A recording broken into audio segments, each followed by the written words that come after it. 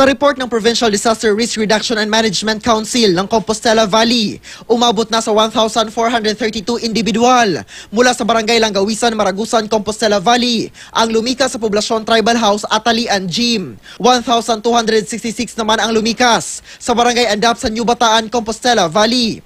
Nagsilikas ang mga residente dahil sa takot sa New People's Army na nanatili umano sa kanilang komunidad. Meron din umanong mga nanghaharas na NPA sa mga guro at barangay officials.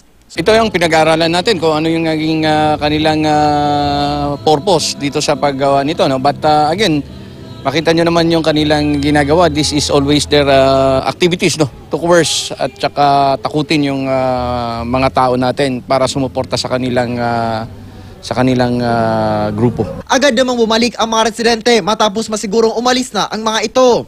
Ayon sa mga sundalo, pinalakas ng NPA ang kanilang panggugulo at pagbabanta sa mga residente sa takot na mawala ng mga taga-suporta dahil sa dami ng mga rebeldeng sumuko. Itong sinabi ni ng ah, chairman nila is will further motivate us to work, no? Kasi kung tayo hinaharas nila, how much more yung mga civilian na kanilang harasin. So we have to ah, double our effort to protect the communities. Argil Relator, Nagbabalita, Pilipinas.